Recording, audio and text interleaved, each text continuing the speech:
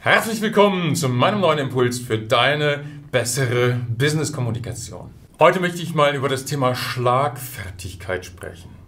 Da gibt es natürlich wie zu fast jedem Punkt ähm, im Bereich Kommunikation schon unzählige Bücher. Alle Kolleginnen und Kollegen und Expertinnen und Experten haben irgendwas dazu zu sagen und es gibt viel nachzulesen, viele Videos.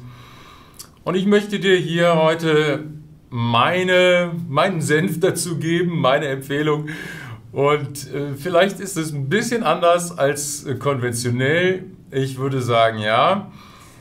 Und zwar geht es ja bei dem Thema Schlagfertigkeit um die Idee, dass in dem Moment, wo man vor anderen Menschen spricht und man sich irgendwie attackiert und angegriffen fühlt, man eine treffliche Replik, eine Antwort gibt, die, hm, naja, im besten Fall Souveränität vermittelt, dem anderen irgendwie noch eins reindrückt, dass der Mund tot wird und dass man eben dann vor dem Rest der anwesenden Menschen möglichst glanzvoll dasteht. Das ist also eine Sache, die fast nicht gelingen kann. Das funktioniert in Ausnahmefällen, wenn man extrem gut bei sich ist, wenn man höchst inspiriert ist, wenn man sehr gut verbunden ist mit den Menschen und sehr gut und fest im Thema und, und, und.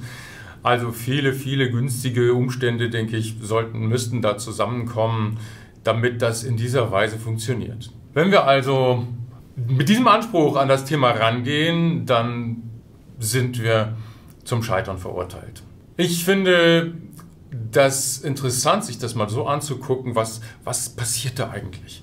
Was geht da vor sich? Ähm, wie kommen wir überhaupt auch auf dieses Wort Schlagfertigkeit? Dieser Begriff, wo kommt der her?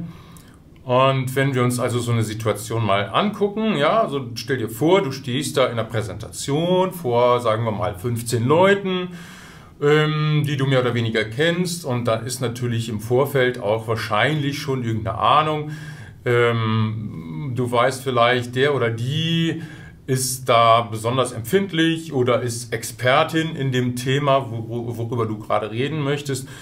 Und du hast also schon so ein bisschen Angst vielleicht, dass, dass dir jemand ins Wort fällt, dass dich jemand angreift, dass jemand unangenehme Nachfragen stellt und so Sachen. Und dann fängst du also an und referierst und präsentierst und dann kommt eben irgend so eine Bemerkung, die dich ankratzt, die dich irgendwie angreift, emotional wahrscheinlich. Ja, also sachlich ist es ja so gut, so gut wie gar nicht möglich, dass man da aus der Fassung äh, gerät, sondern meistens ist es dann irgendwie emotional begründet. Und ähm, man fühlt sich dann also erschüttert und ja, es ist also, was im ersten Moment passiert, so eine Art Schockstarre. Ja, wir werden angegriffen und wir wissen, wir können aus der Situation jetzt nicht ad hoc entfliehen. Ne? Wir haben dann manchmal so eine Idee, jetzt möchte ich am liebsten im Boden versinken oder schnell wegrennen. Das geht aber nicht. Wir müssen also der Situation standhalten. So, und dann kommt also als, als erste Reaktion häufig so eine Schockstarre. Oh Gott, was ist das für eine Frage? Ich habe es gewusst. Alle meine Befürchtungen sind wahr geworden. Ja, warum muss jetzt genau der diese Frage stellen und ich weiß ausgerechnet keine Antwort? Und natürlich kann man immer eine Antwort geben, man kann immer irgendwas sagen, aber das ist halt dieser Moment des Schreckens, ähm, wo wir einfach erstmal erstarren.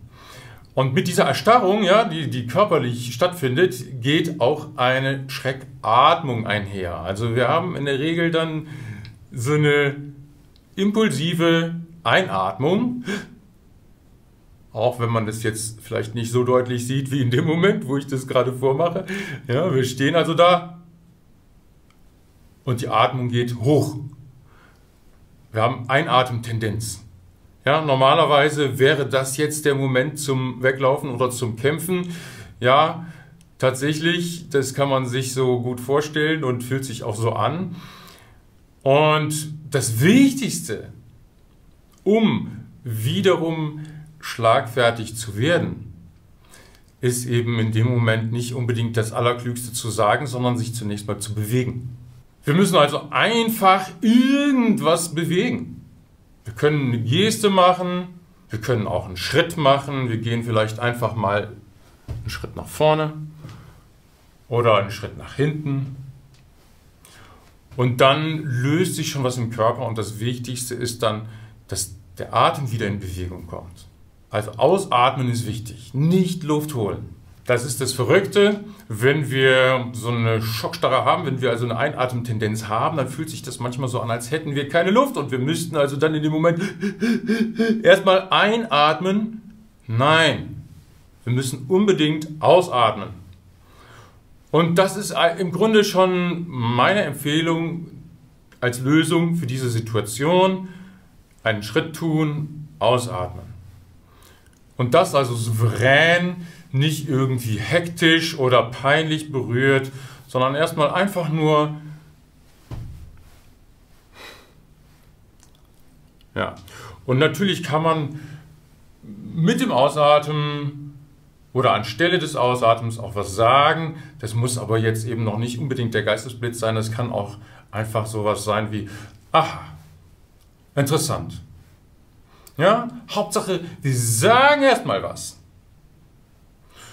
Und nicht was in Richtung Entschuldigung, ähm, es sei denn, es ist total offensichtlich, dass wir irgendwen anders verletzt haben und der oder die beschwert sich dann, sicher sollten wir uns dann entschuldigen. Ja? Aber wenn wir uns angegriffen fühlen, vielleicht sogar zu Unrecht, vielleicht hat es auch jemand gar nicht so gemeint, das äh, sollte man immer in Erwägung ziehen. Dass es sein kann, dass man sich nur, nur angegriffen fühlt, weil jemand ungeschickt formuliert oder äh, selber aufgeregt ist oder oder. Ne? Aber du bist ja in der Situation der Meister oder die Meisterin. Also du führst, du bestimmst eigentlich die ganze Situation. In, insofern ist es wichtig, dass du erstmal davon ausgehst, niemand will dir was. Du hast halt eine emotionale Regung und du hast einen kleinen Schockmoment. Ja, und dann atmest du aus, bewegst dich ein bisschen und fragst vielleicht nach, Entschuldigung, habe ich Sie richtig verstanden? Haben Sie das so und so gemeint? Oder könnten Sie das nochmal in anderen Worten wiederholen? Ich bin mir nicht sicher, ob ich das richtig verstanden habe. Du kannst vielleicht sagen, ich verstehe jetzt nicht so genau, was der Kollege meint. Kannst du mir das vielleicht mal ein bisschen in anderen Worten erklären? Oder ähm, Sie haben doch auch Erfahrungen damit gemacht. Ähm, können Sie das vielleicht untereinander klären? Ja, das wäre eben auch eine Lösung dass gar nicht du selber die Antwort liefern musst, sondern dass du das quasi moderierst.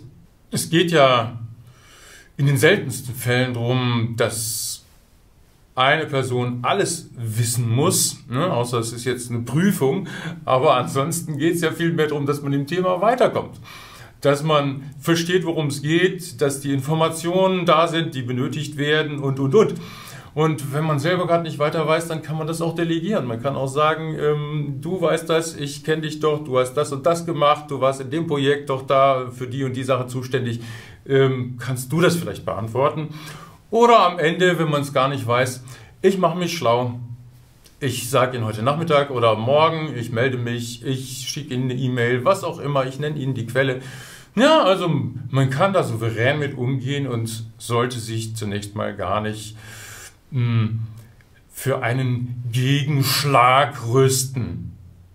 Und das ist für mich sehr entscheidend. Es geht also beim Schlagen gar nicht so sehr um den Kampf, um eine kriegerische Auseinandersetzung, sondern vielmehr einfach ähm, im Sinne meines Kommunikationsmodells Tennis geht es also darum, einfach den Ball wieder zurückzuspielen. Ne? Es hat jemand einen Ball gespielt oder geschlagen in Form einer Frage oder einer vielleicht auch Anzweiflung und wir spielen den Ball zurück. Und das kann eben auch sein in einer sehr kurzen hm, Antwort, das kann auch in einer Gegenfrage sein. Da muss man sich also von diesem Druck befreien, die eine perfekte Antwort sofort liefern zu wollen. Ich hoffe, dass dir das hilft. Ich rate dir, probier es aus viel Erfolg dabei. Bis bald.